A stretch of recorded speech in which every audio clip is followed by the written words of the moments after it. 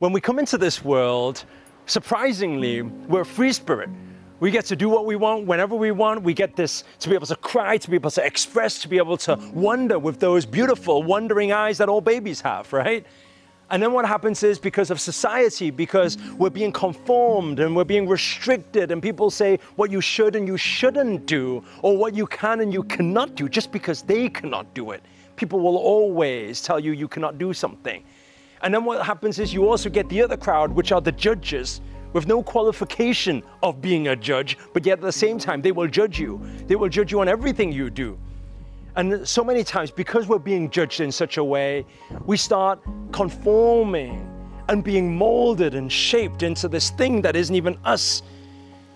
But the question for everybody today is how about we are able to allow ourselves just for this very moment and allow these layers just to strip off, allow this identity that you think you are right now and come to acceptance that that may not even be you because your authentic you may have just been pre-programmed. Instead, allow yourself Allow yourself to embrace everything in nature. Allow yourself to be able to be whoever you want. Allow yourself to speak the way you want, talk the way you want, walk the way you want, do the things you always wanted to do without fear of judgment of other people.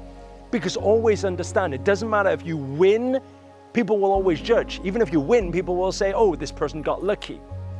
And when you don't win, people will say, You see, I told you you wouldn't make it. So, regardless, we're going to be judged anyway. So, my question is if we're going to be judged anyway, why not make the most out of it? Why not live your life? Why not do everything you've ever wanted to do without fearing other people's perception or judgment of you?